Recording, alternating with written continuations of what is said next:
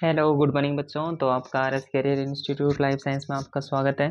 तो आज हम पढ़ रहे हैं, जैसे अपनी जो मोल बायो स्टार्ट है मोलिकुलर बायोलॉजी वो स्टार्ट हो चुकी है।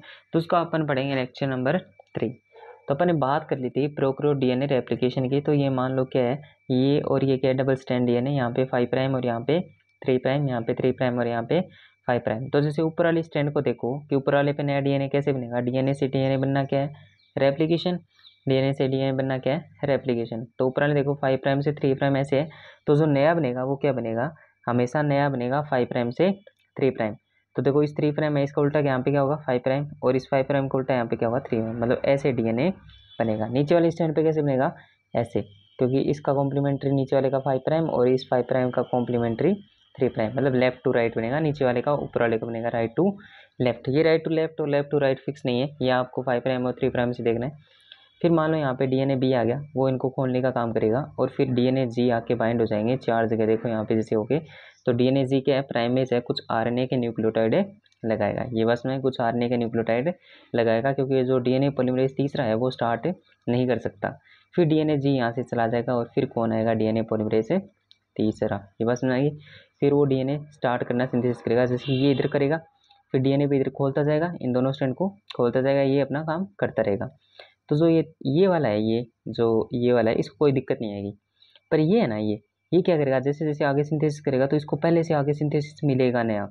तो वो क्या करेगा? ये यहाँ पे जो डीएनए पॉलीमरेज नीचे वाला डीएनए पॉलीमरेज है, वो आपस में टाउ प्रोटीन से बाइंड है, दो टाउ प्रोटीन है। उससे क्या होगा? जैसे ये उठा के अपन यहाँ पे रख देंगे, इस डीएनए पॉलीमरेज को यहाँ पे उठा देंगे, फिर इतना सिंथेसिस करेगा, फिर उठा के यहाँ पे रख देंगे, फिर इतना सिंथेसिस करेगा, फिर उठा के यहाँ पे उठा के से रहे टाउ प्रोटीन की हेल्प से। ये बात सुनाई। तो ये जो टुकड़े में बन रहा है यहाँ पे यहाँ पे बनेगा टुकड़ों में, यही क्या है अपना एक टाइप से मतलब ओकाजाकी फ्रेगमेंट्स इन्हीं को क्या बोलते हैं? ओकाजाकी फ्रेगमेंट्स तो देखो डीएनए इस साइड बन रहा है और एप्लीकेशन फोर्क बोलते हैं इसको। तो ये जा रही है इस साइड तो दोनों अपोजिट है, इसलिए इसको बोलते हैं लेगिंग स्ट्रैंड ये बात सुनाई लेगिंग और लीडिंग क्या होती है? ये देखो डीएनए साइड बन रहा है और एप्लीकेशन फोर की ये देखो, ये भी साइड जा रही है। तो दोनों की डायरेक्शन क्या है? सेम इसको बोलते हैं लीडिंग नीचे देखो, एक ही स्टैंड में मतलब यहाँ पे मान लीडिंग हो गई, यहाँ पे क्या होगी लेगिंग तो मतलब एक ही स्टैंड में लेगिंग और लीडिंग दोनों मिल सकते हैं। फिर इसके बाद है कि मान लो जो सी है, इसमें देखो डीएनए तो ऐसे बन रहे हैं और एप्लीकेशन फोर्क इस साइड जा रही है, इसको बोलते हैं एप्लीकेशन फोर्क तो दोनों अपोजिट है, इसलिए ये सी वाला क्या है? लेगिंग डी वाला देखो, ये डीएनए तो इस साइड बनेगा, ये कैसे चेक करेंगे अपन? इस थ्री प्राइम का उल्टा फाइव प्राइम और फाइव प्राइम का उल्टा थ्री प्राइम तो मतलब फाइव प्राइम से थ्री प्राइम ऐसे बनेगा। तो डीएनए तो इस साइड बनेगा और एप्लीकेशन फोर्क भी इस साइड दोनों सेम साइड तो इसको बोलते हैं लीडिंग स्टैंड ये बात सुना ये क्या होगी? लीडिंग स्टैंड अब इसकी बात करते हैं। जैसे ये बता रखा है यहीं पे कि डीएनए पॉलीमरेज तीसरा है। वो आपस में किससे बाइंड होते हैं? टाउ प्रोटीन की हेल्प से। डीएनए भी खोलने का काम करेगा क्योंकि क्या ये हेलिकेज है। इसके पास एक्टिविटी है। हेलिकेज जो दोनों स्टैंड को अलग अलग करेगा। फिर डीएनए से डीएनए बनेगा। ऊपर भी नया डीएनए नीचे भी नया डीएनए अब यहाँ पे देखो। ये नया डीएनए इस साइड बन रहा है, मान लो रेप्लिकेशन फोर्क भी इस साइड तो ये क्या होगी लीडिंग यहाँ पे देखो डीएनए ऐसे बन रहा है और रेप्लिकेशन फोर्क इस साइड अपोजिट है दोनों इसलिए लैगिंग डीएनए इस साइड बन रहा है और रेप्लिकेशन फोर्क इस साइड दोनों अपोजिट लैगिंग और ये देखो लीडिंग कैसे बनेगा? ये डीएनए इस साइड बन रहा है और रेप्लिकेशन फोर्क भी इस साइड तो ये लीडिंग और जो ओकाजा की फ्रेगमेंट्स होते हैं ना, वो लेगिंग स्टैंड पे बन रहे हैं. किस पे? लेगिंग स्टैंड पे, टुकड़े में होगा क्योंकि क्या होगा? ये इतना सिंथेसिस करेगा फिर आगे सिंथेसिस मिलेगा यहाँ से उठा के यहाँ पे रखेंगे. फिर इतना बनाएगा, फिर यहाँ से उठा के इतना बनाएगा टुकड़े टुकड़े बनेंगे ना ये टाइप से। तो यही क्या हो कजा की फ्रेगमेंट्स जो डी एन ए तीसरा उसको लोड कौन कराता है? बीटा क्लैम्प तो इसलिए बीटा और बीटा प्राइम ये देखो, ये बाइंड है। और बीटा इस बीटा क्लैम्प को एनर्जी कौन देता है? गामा क्लैम्प तो देखो गामा क्लैम्प की पाँच सौ minute gamma delta prime del chi और शाई ये बात समझ आई तो ये आपको आगे होगा। डी नो सिंथेसिस की अपन आगे बात करेंगे। फिर इसके बाद है कि देखो यहाँ पे जैसे ये है कि एक क्वेश्चन आएगा नेट में कि इनमें पहले कौन बना होगा ये फ्रेगमेंट ये या ये। तो कुछ जो याद रखना है, ये क्या है? रेप्लीकेशन फोर्क ये इतना क्या है? ये जो दो लाइन बना रखी है अपने, ये जो, यही क्या है अपनी रेप्लीकेशन फोर्क और इधर भी क्या है? ये रेप्लीकेशन फोर्क तो जो रेप्लीकेशन फोर्क के पास जो फ्रेगमेंट होगा, नया डीएनए का, वो क्या होगा? लेटेस्ट लेटेस्ट मतलब अभी अभी बनाए तो मतलब इस रेप्लीकेशन फोर के पास कौन सा है? इस रेप्लीकेशन फोर के पास कौन सा है? फ़र्स्ट वाला। तो फ़र्स्ट वाला अभी अभी बनाए मतलब सबसे पुराना कौन होगा? तीसरा। फिर कौन बना होगा? सेकंड और सिर्फ़ लास्ट में अभी अभी कौन सा बनाया? फ़र्स्ट तो पहला तो नया है। मतलब जो आ, ये जो रेप्लीकेशन फोर का इसके पास में होगा वो क्या होगा? नया लेटेस्ट तो पहला कब बना होगा? अभी। मतलब सबसे पुराना कौन सा है? तीसरा। तो आप क्वेश्चन ध्यान रखना कि क्वेश्चन में पूछा क्या है? यहाँ पे पूछा जाए सबसे पहले सिंथेसाइज कौन हुआ? तो जो रेप्लिकेशन फोर के पास में वो क्या होगा? लेटेस्ट मतलब फ़र्स्ट क्या है? लेटेस्ट अभी अभी बनाया। तो सबसे पुराना कौन होगा? तीसरा। तीसरा सबसे पहले बना। फिर सेकंड और फिर फ़र्स्ट ये नेट का क्वेश्चन है। ऐसे नॉर्मल एज क्वेश्चन आएँगे अपने C S I R NET life science में। फिर इसके बाद जैसे मान लो ये ज़रूरी नहीं है कि वो पूरा दोनों दोनों साइड स्टैंड बना के दे। जैसे यहाँ पे देखो, यहाँ पे बस आपको कुछ नहीं करना कि यहाँ से थ्री प्राइम दे रखा है तो उसका उल्टा लिख लो फाइव प्राइम मतलब डी एन ए साइड बनेगा और एप्लीकेशन फोर भी इस साइड दोनों सेम साइड इसलिए ऊपर वाला लीडिंग यहाँ पे देखो, ये टुकड़ों में बनेगा, क्योंकि देखो यहाँ पे फाइव प्राइम यहाँ पे थ्री प्राइम तो टुकड़ों में बनेगा ये बस में और एप्लीकेशन फोर के इस साइड क्योंकि देखो, इस जो पुराने वाला डी है यहाँ पे मैं समझाता हूँ आपको कि जो पुराने वाले, उसका थ्री प्राइम है तो यहाँ पे नए वाले का फाइव प्राइम और यहाँ पे थ्री प्राइम मतलब डीएनए ऐसे बनेगा। तो डीएनए ऐसे बन रहा है रेप्लिकेशन फोर किस तरह है तो नीचे वाला क्या हो गया? लेगिंग ये बात में यही पूछा था। नॉर्मल एजुकेशन आते हैं। एक बार क्या हुआ मतलब वो फंसा देता है कहीं ना कहीं। तो यहाँ पे क्या डबल स्टैंड डी है तो यहाँ पे और कुछ ही नहीं करना चेक करना। उसने ऐसे बना के दे रखा था और पूछा था कि मतलब नया डीएनए कैसे बनेगा। तो यहाँ पे आपने देखा तो सबने देख लिया कि ये लेडिंग है, ये लेगिंग है, लेकिन किसी ने भी चेक नहीं किया कि ये क्या है? यूनि डायरेक्शन क्या है? यूनि डायरेक्शन क्योंकि इस पर ओनली डीएनए ऐसे बन रहा है और इस पर ओनली ऐसे बन रहा है। ये बस में यहाँ पे इस C S I R NET में सबको फंसा दिया था। ये भी आपको ध्यान रखना है। तो ये सारे नेट के क्या है? क्वेश्चन फिर इसके बाद बात करते हैं कि मान लो क्या है कि ये समझ आ गया, तीसरा ऐसे आपस में किससे टाउ प्रोटीन से बाइंड होता है और ऐसे अपना जो इलोंगेशन वाला स्टेप है, पहले इनिशिएशन फिर इलोंगेशन जिसमें डीएनए से डीएनए बनेगा। फिर उसके बाद मान लो जो काचा की फ्रेगमेंट्स है टुकड़े टुकड़े उनको जोड़ने का काम करते हैं। तो मान लो पहले कौन आया यहाँ पे डीएनए पॉलीमरेज से? फ़र्स्ट वो क्या करेगा? इस एडेनिन को हटाएगा। किसको? ये बात सुना आई जैसे मान लो यहाँ पे यू और जी के बीच फोस्फोडाइस्टर बॉन्ड बनाना है तो अभी देखो, ये जो यू सी ए है, मान लो ये क्या है? प्राइमेज तो मान लो डीएनए फ़र्स्ट आएगा, उसके पास कौन सी एक्टिविटी है? फाइव प्राइम से थ्री प्राइम एक्सोन्यूक्लियस तो वो इस आरएनए के एडेनिन को हटा के डीएनए का एडेनिन लेके आएगा और आके बॉन्ड बाद में बनाएगा, देखना अभी। फिर डीएनए फिर डीएनए फ़र्स्ट क्या करेगा? इस सी को हटाएगा और डीएनए के सी को लेके आएगा। फिर डीएनए का यू को उठाएगा फिर डीएनए के जो ये टी है, उसको लेके आएगा। ये समझ आ गई फिर क्या होगा? जैसे टी है, वो पहले वाले से तो बॉन्ड बना देगा टी और सी के बीच, लेकिन टी और जी के बीच बॉन्ड नहीं बनेगा। ये बात समझ आ गई? तो इस जो बीच में फोस्फोडाइस्टर बॉन्ड नहीं बना, उसको क्या बोलते हैं? निक क्या बोलते हैं? निक मतलब कोई दो न्यूक्लियोटाइड है, उनके बीच में अगर फोस्फोडाइस्टर बॉन्ड नहीं है तो उसको क्या बोलते हैं? निक तो जो लास्ट वाला फोस्फोडाइस्टर बॉन्ड है, ये बस में तो मान लो ये जो लास्ट वाला ये बच गया, ये कौन लगाएगा? लाइगेस कौन लगाएगा? लाइगेस डीएनए पॉलीमरेज फ़र्स्ट इनके बीच बॉन्ड नहीं बना सकता, क्योंकि डीएनए पॉलीमरेज फ़र्स्ट के पास पावर कहाँ से आती है? जो पहले वाला हटाता है, उससे जो एनर्जी आती है, उसी से नया फोस्फोडाइस्ट फोस्फोडाइस्टर बॉन्ड बनाता है। और लाइगेस होता है, वो क्या करता है? पहले से जो दो न्यूक्लियोटाइड है, उनके बीच क्या बना सकता है? बॉन्ड ये बात सुना गई। फिर इसके बाद है कि यूक्रोट्स और आर्की बैक्टीरिया ना उनमें लाइगेज है, वो एनर्जी कहाँ से लेके आता है? एटीपी से। यही नेट का क्वेश्चन है, बहुत बार पूछा हुआ है कि यूक्रियोट्स और आर्की बैक्टीरिया है, वो कहाँ से एनर्जी लेके आते हैं लाइगेज उनमें? तो लाइगेज एनर्जी लेके आता है एटीपी से। लाइगेज क्या होता है? दो न्यूक्लियोटाइड है, उनके बीच जो फोस्फोरेस्टर बॉन्ड बनाता है या फिर उसको बोलते हैं निक तो निक को जो सील करता है, वो कौन होता है? लाइगेज तो अब आप समझ सकते हो कि आर के बैक्टीरिया वो ज़्यादा सिमिलिटी शो करता है किससे? यूक्रियोट से। ये बात समझ आ गई। फिर इसके बाद है प्रोक्रियोट्स प्रोक्रोट्स में लाइगेज एनर्जी कहाँ से लेके आते हैं? एनएडी प्लस से, ये भी इंपॉर्टेंट है। फिर इसके बाद है, देखो प्राइमेज फिर इसके बाद है प्राइमेज प्राइमेज क्या है कि इसके पास आरएनए पॉलीमरेज जैसी एक्टिविटी है मतलब आरएनए के न्यूक्लियोटाइड लगाएगा। मतलब डीएनए को रीड करके क्या लगाएगा? आरएनए के न्यूक्लियोटाइड फिर क्या होता है, यहाँ पे और पॉइंट पड़ते हैं, जैसे इकोलाई में जो रेप्लीकेशन है, वो क्या होता है? बाई डायरेक्शनल होता है, दोनों डायरेक्शन में चलता है।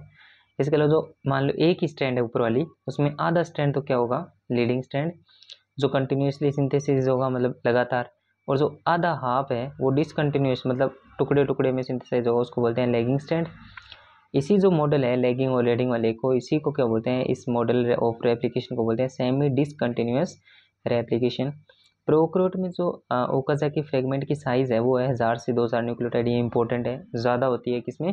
प्रोक्रोट्स में। यूक्रोट्स में क्या होती है, कम, सौ से दो सौ न्यूक्लियोटाइड तो ये हज़ार से दो हज़ार प्रोक्रोट्स की है मतलब प्रोक्रोट्स में ज़्यादा मिलेगी। और ओकाजा की फ्रेगमेंट यूक्रोट में छोटा मिलेंगे। ओकाजा की फ्रेगमेंट है क्या? जो लेगिंग स्टैंड पे अपन ने बनाया था, टुकड़े टुकड़ों में जो डीएनए सिंथेसिस हो रहा है, उसी को क्या बोलते हैं ओकाजा की फ्रेगमेंट्स और ये किस पे बनते हैं? लेगिंग स्टैंड पे। फिर इसके बाद है कि ई कोलाई है, जैसे मान लो कोई प्रोक्रोट है एस्क्रिशिया कोलाई ये चालीस मिनट लेता है अपनी रेप्लीकेशन को कंप्लीट होने में। इसके अलावा जो प्रोसेसिविटी फैक्टर है कौन कौन से? बीटा क्लैम्प और कामा क्लैम्प जो डीएनए पॉलीमरेज को लोड कराते हैं और एनर्जी प्रोवाइड करते हैं, वो लेगिंग स्टैंड वाले डीएनए पॉलीमरेज तीसरे के साथ बाइंड ही रहते हैं। ऐसा क्यों कि वो जो डीएनए पॉलीमरेज तीसरा है, लेगिंग स्टैंड वाले, उसको बार बार वहाँ से हटना पड़ता है ना?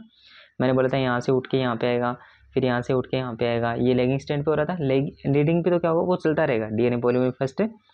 नहीं, सॉरी, तीसरा चलता रहेगा। लेकिन जो लेगिंग स्टैंड है, उस पर बार बार उसको हटना पड़ेगा और वापस जुड़ना पड़ेगा। इसलिए इस, इनके साथ क्या जुड़ा रहता है हमेशा? प्रोसेसिटी फैक्टर या बीटा क्लैंप या गामा क्लैंप। ये बात समझ आ गई?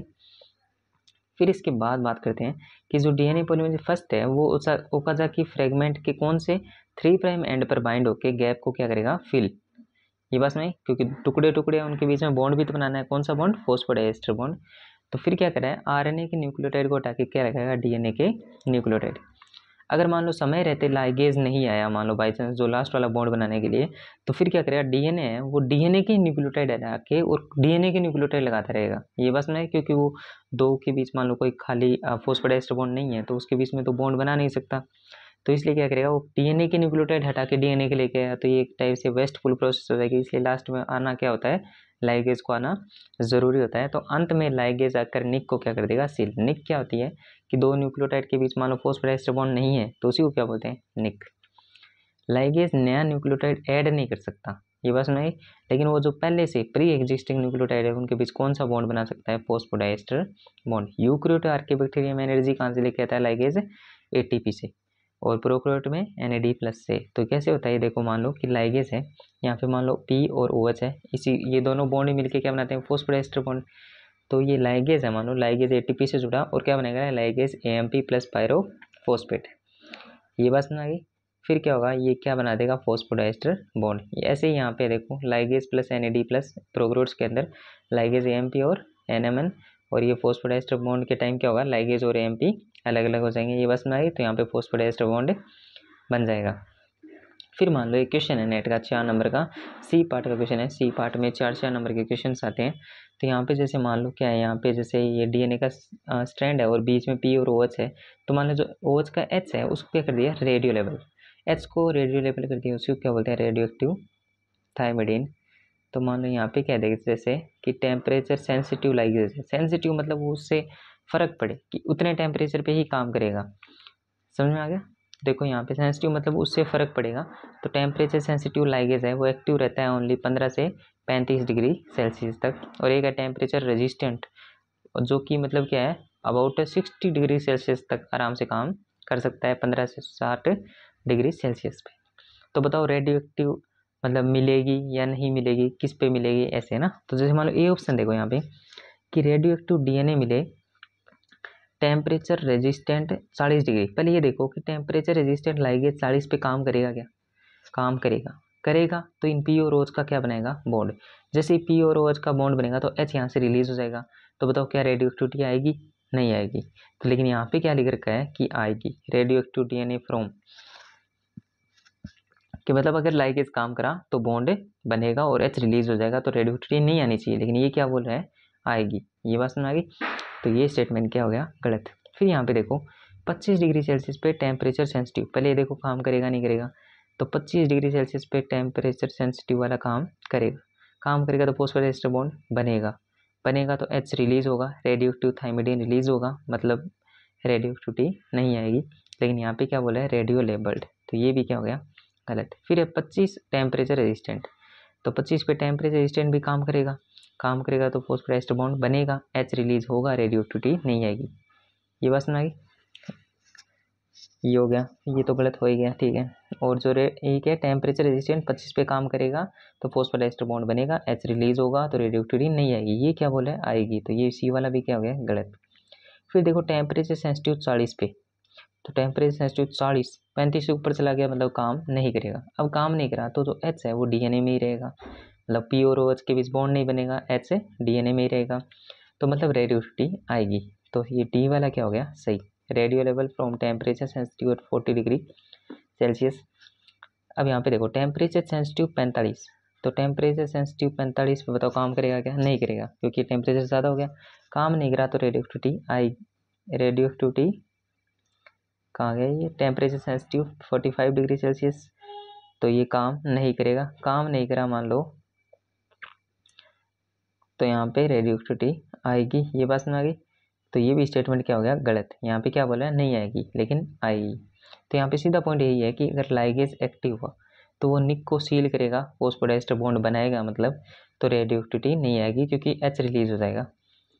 फिर क्या है लाइगेज मान लो काम नहीं करे तो निक सील नहीं होगा फोस्फोडाइस्टर बॉन्ड नहीं बनेगा तो एच रिलीज़ नहीं होगा तो रेडियो एक्टिविटी आएगी डीएनए में से। ये बात समझ अब ये क्वेश्चन तो बार बार पूछा है कि जैसे मान लो जो सेम डायरेक्शन हो मतलब डीएनए की बनने की और एप्लीकेशन फोर की, उसको बोलते हैं लीडिंग और मान लो ये क्या है? रेप्लिकेशन फोर्क और ये डीएनए नया बन रहा है। उन दोनों के अपोजिट हो तो लैगिंग ये बात सुनाई? अब ये आपको बताना है। तो यहाँ पे आप देख के बता सकते हो, जैसे ये इधर जा रहा है, ये भी इधर जा रहा है, या फिर वो फाइव प्राइम थ्री प्राइम उनके थ्रू भी यहाँ पे निकाल सकते हो। ये बात सुना गई तो ये अपना क्या होगा? इसके बाद अपना जो ये इलोंगेशन स्टेपल है, वो यही है कि डीएनए से डीएनए बनता रहेगा। लास्ट में अब अपन क्या पढ़ेंगे इसमें? टर्मिनेशन की प्रोप्रियोट जो डीएनए रेप्लिकेशन है, उसमें टर्मिनेशन कैसे होगा?